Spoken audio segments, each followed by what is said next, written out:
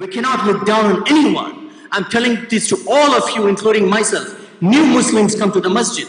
New Muslims came to the masjid in Fremont. One person came with tattoos on his hand. All tattoos all over his hands, on his neck, wherever you see tattoos on him. He prayed namaz, mashallah, salat. He went out. And a person came, he said, Your salat is not accepted. He said, My salat is not accepted. Because you have tattoos uh, all over. You need to clean up your tattoos. He said, but I've already talked to the scholars. They said, it's fine. I tried my best to remove it. They're not coming out. He said, no, but your salat is not accepted. He said, my salat is not accepted. Okay, I'm not coming to the masjid anymore. Never showed his face. A sister came with tight clothes, a new Muslim sister, came with tight clothes in the masjid. A woman yelled at her. She was in the mid 30s, this woman. She was looking left and right when the people were praying salah. A Muslim woman in scarf came and yelled at her. She says, Don't you know how to read salah? Nobody taught you how to read salah.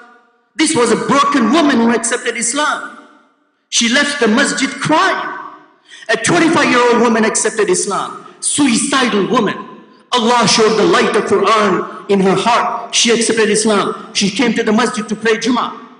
She went out of the masjid, tight clothes, the regular clothes she was wearing. A guy in a car, a bearded guy in a car stopped and says, that is haram. Those clothes are haram. What is this, respected listeners? This is the akhlaq Rasulullah taught us, who forgave a person urinating in front of his own eyes in the Masjid al-Nabawi.